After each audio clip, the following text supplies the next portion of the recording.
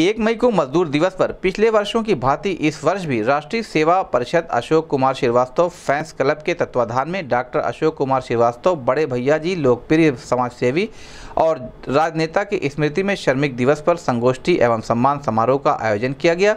सम्मान समारोह में विभिन्न क्षेत्रों में उत्कृष्ट कार्य करने वाले कर्मियों को सम्मानित किया गया, जिसमें प्रमुख रूप से मेजर डॉक्टर अमित श्रीवास्तव, चिकित्सक राम सिंह जगप्रीत सिंह उप मुख्य टिकट निरीक्षक एनी रेलवे व सौरभ श्रीवास्तव जिला शासकीय अधिवक्ता और आशीष श्रीवास्तव सेल टैक्स अधिवक्ता व राम श्रेष्ठ पासवान अध्यक्ष हाकर संघ को सम्मानित किया गया। इस अवसर पर गोरखपुर न्यूज़ से बात करते हुए डॉक्टर मनोज कुमार ने कहा।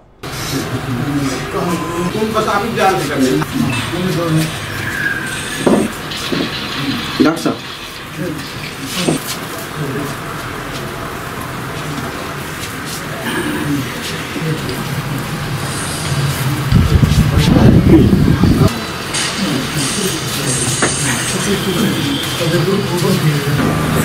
아니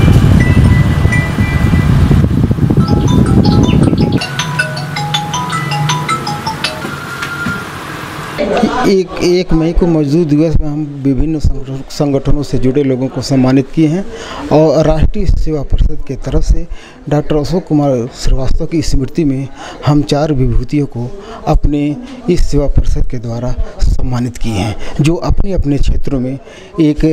कह लीजिए कल्याणकारी काम लोगों के बीच में करते रहे हैं। उनको हम चिन्हित किए और आज के दिन जो मजदूर दिवस के रूप में मनाया जाता है उनको हम सम्मानित किए हैं।